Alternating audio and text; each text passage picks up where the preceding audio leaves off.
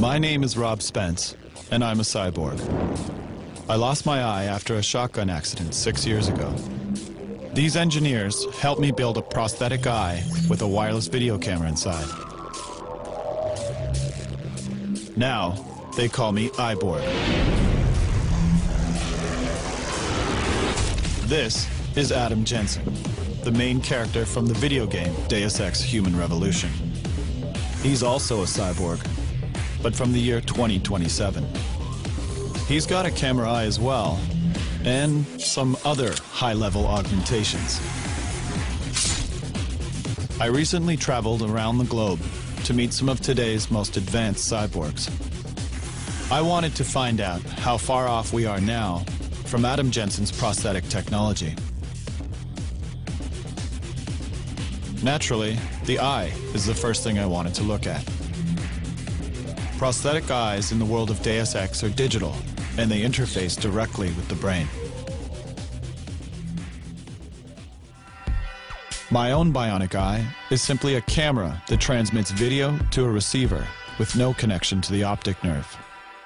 I went to Finland to meet Mika Terho, a blind man who actually had such a connection. I was involved in a research project in November 2008. I was in the surgery and there was a chip implanted underneath my retina. It was a test version that I had. I knew that it was only uh, about three months' time that I will have the chip. The retinal chip is very small in size. It's a 3 by 3 millimeters. It's placed right underneath the retina in order to replace the broken photoreceptors. And it's curving like a little bit like this way. Yeah. No, it's okay. It must be a banana. I mean, that's what it looks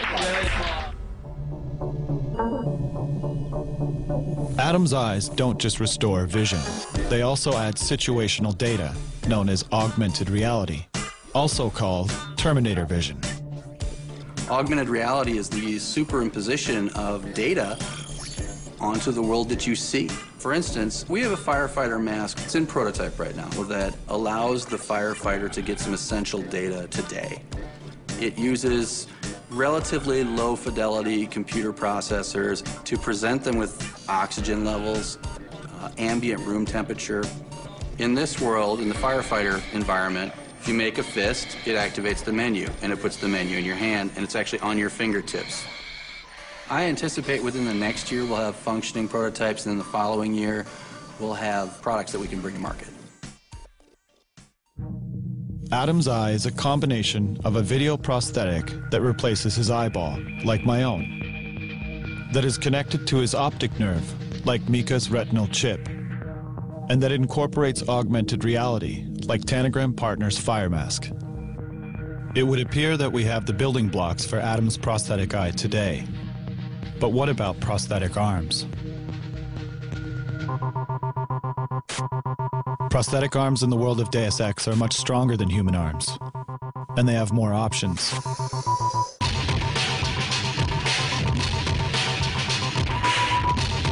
They're more accurate, and they even help you play piano better. Meet Jason Henderson from West Virginia and Kieran McCammon from California.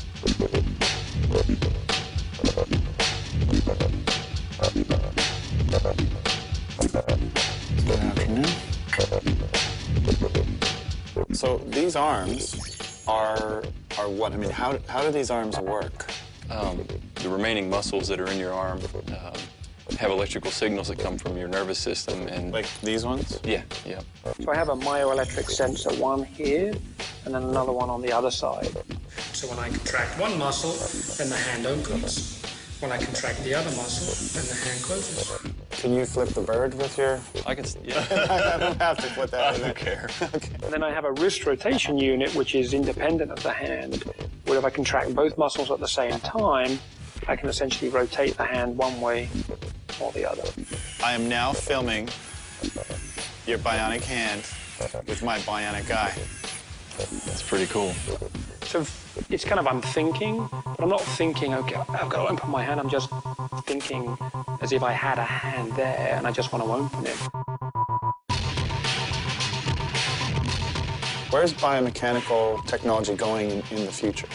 You know, I think this has laid a good foundation uh, with the product like such as the i-LIMB, and I don't know if it'll be robotics uh, that ultimately replace missing body parts, but genetically, I mean, I can see it becoming very quick, you know, next decade or so. Like growing actually. clone genetic yeah. arms of your own body? Yeah, like yeah, I can just see growing it. other Jason arms and Yeah, seeing if they yeah. attach them? Yeah, I mean, if you plot out, you know, the most famous, I think, Moore's law, and you just plot the speed, the processing speed of CPUs, you get an exponential curve. Where every 18 months, biomechanical devices doubling in, their capabilities, in how better they are in terms of being close to the human body. Weapons, um, that would be an interesting one.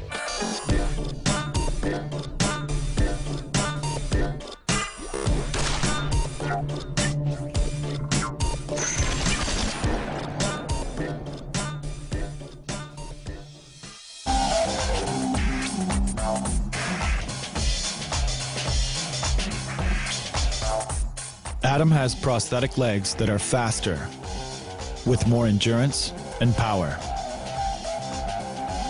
Where are we with prosthetic legs today?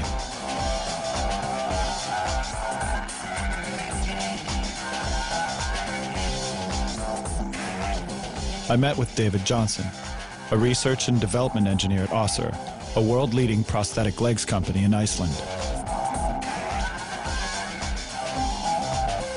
And this is Staff Sergeant Heath Calhoun from Tennessee in the United States, who is actually pretty quick.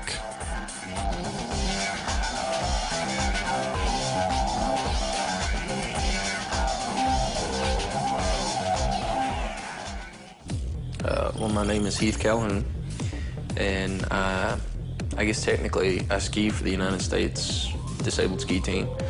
And uh, I was wounded with the United States Army back in, in November of 2003, and kind of led me on the path that I'm on now. These are your prosthetic legs here that you walk around on all the time. You have a knee unit, the pylon, and then the foot. You got flex in the heel, you got, Right. and it's split so that Right. you get it to flex on both sides. Like a ninja slipper. Like, yes. The knee is a hydraulic knee unit that, that has a microprocessor inside it. The knee is updated, the microprocessor is updated 50 times a second by a sensor that's in this pylon that tells the knee whether or not to add or remove hydraulic resistance.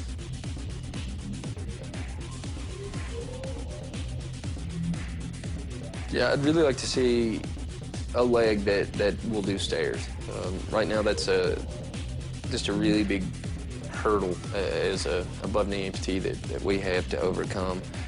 You're able to use your thigh muscles to be able to push yourself up, and, and we just we just don't have that.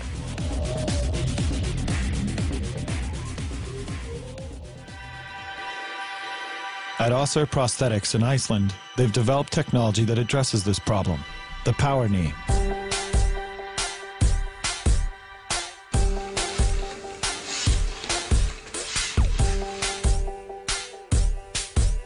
The difference between the power knee and most legs on the market?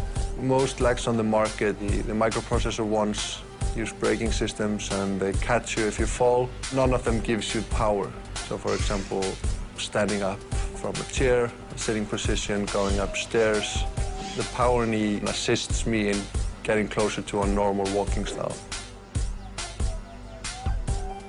As somebody who's at a company developing this stuff, do you find that technology is moving more quickly as time goes on? Yeah, I think yeah, I think technology moves more quickly now. At the moment, it's more a matter of what you can imagine. I mean, who says that a normal human leg is the optimal thing for you? I mean, the species evolved to this leg that we have now, but who says that's the end of the line? You're shaking like crazy. So you realize the last time I shot a gun, I blew this eye out, right? Quit shaking. That was close.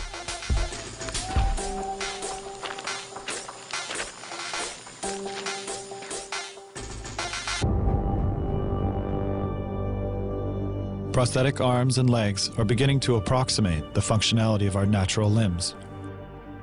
Current bionic technology uses external and kinetic sensors. We're only just beginning to experiment with neural prosthetics like those of Adam Jensen. Is the, the technology that Adam Jensen have possible by the year 2027? Absolutely. Absolutely will we get there. But the real challenge is the brain to machine interface. Every brain is unique and it grows based on your experience. So where you process a certain piece is relatively where I process it, but you, there's not an exact location. Well, if you compare any other technical device, cell phones or whatever, and then just, just the rate of development is so quick. So retinal implants, artificial prostheses will definitely follow the same path. That's an interesting one. I mean, choosing to have your limb removed so you can get a, you know, a bionic replacement because it's you know, better than the real thing. I'm sure there's going to be a lot of ethics debates around whether that's even, you know, medically ethical. I think technology moves quicker than we imagine. And there are small places here and there in the world trying to do stuff that you don't even know about.